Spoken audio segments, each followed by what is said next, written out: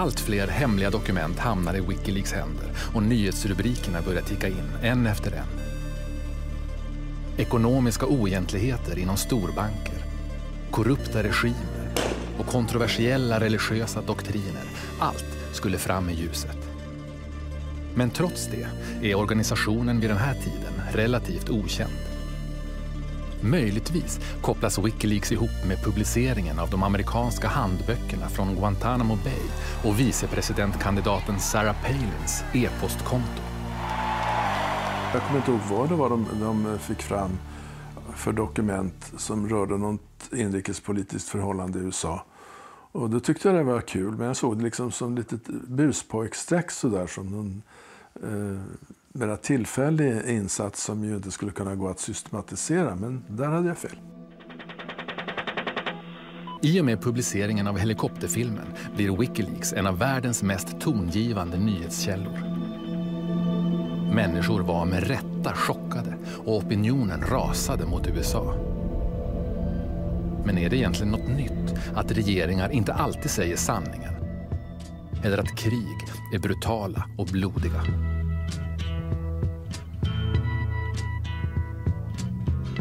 Something happening here. What it is ain't exactly clear. There's a man with a gun over there Telling me I've got to beware. Vietnamkriget anses fortfarande vara en av USAs största skamfläckar. Men till skillnad från senare krig kunde de hundratals journalister som var på plats fritt dokumentera krigets fasor bland både de stridande och civilbefolkningen. De män som idag är generaler, de var löjtnanter under Vietnamkriget. Och på den tiden fick journalister åka vart de ville och se vad som helst och det ledde Eh, Eh, till ett amerikanskt militärt nederlag enligt eh, en dolkstötsteori som är vanlig i militära kretsar.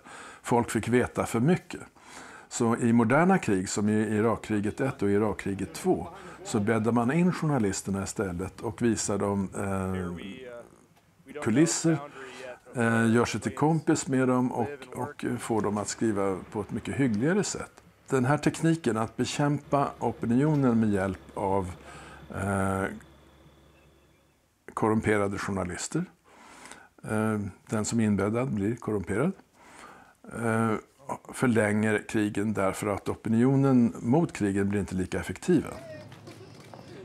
Jan Guillou blev en av 70-talets mest kända journalister då han tillsammans med Peter Bratt avslöjade den svenska regeringens mest dolda hemlighet, IB, en svensk inrikesunderrättelsetjänst som åsiktsregistrerat vänstersympatisörer och samarbetat med CIA. Det mediala uppsvinget kommer på 70-talet när eh, journalisterna tar mer eller mindre makten runt om i världen. I USA med Bob Woodward och Watergate-affären. I Sverige hände något liknande som bekant. Eh, då blev undersökande journalistik eh, någonting fint då, och också lönsamt. Och eh, föreställningen var inte längre att journalister skulle tjäna staten som vi gjorde dessförinnan. Utan nu skulle man tjäna allmänheten, folket. The people's got the right to know. Och, och så. Den där uppsvinget bröts för ungefär, tiden går fortare än man tror, det kanske 15 år sedan. När eh, mediaägare runt om i världen lanserade tesen att färre journalister ska göra ett större jobb på kortare tid. Därför att det blir mer lönsamt på det sättet. Och det är klart att det blir eh, på kort tid. Men sen så leder det obenhörligen till sämre journalistik, sämre informerade medborgare. Av det enkla skälet att färre journalister kan inte göra ett större jobb på kortare tid. Julian Assange-affären har skadat den internationella Sverigebilden mer än någonting annat jag kan komma på, på under lång tid. Han kommer förr eller senare skrikande och sparkande släpas hit till Sverige, bli förhörd och frikänd, gissar jag. Eller dömd till något böter eller någonting sånt och så är vi därmed eh, saken ur världen.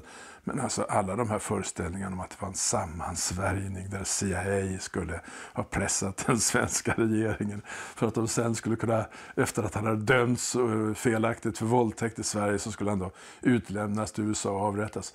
Eh, detta är strunt.